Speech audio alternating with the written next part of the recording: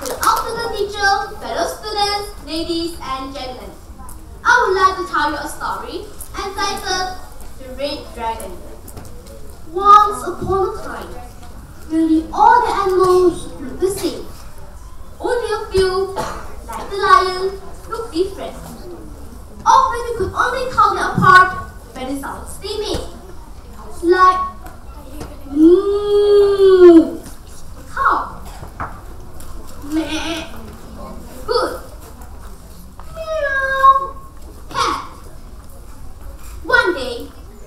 dragon flew into the jungle. The war is ending! Quick, climb onto my back, and I will take you somewhere safe! He cried out. Many of the animals pushed and shoved to get onto the dragon's back. The lion just yawned. Oh, you are going ahead. I'd rather stay right here on earth. Suit yourself! The other animals cried. They all look pretty silly now. Squeezed onto the dragon's back. It took the poor dragon three runs before it could fly into the air.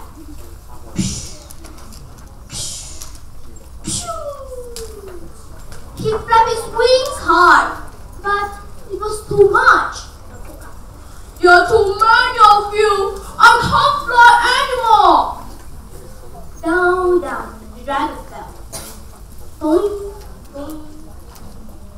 Until he crashed into a green clearing.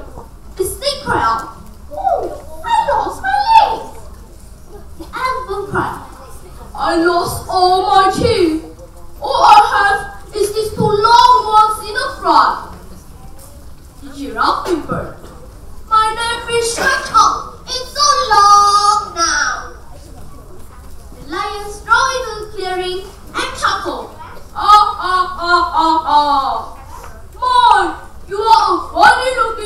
now. But don't worry, at least you all look different now.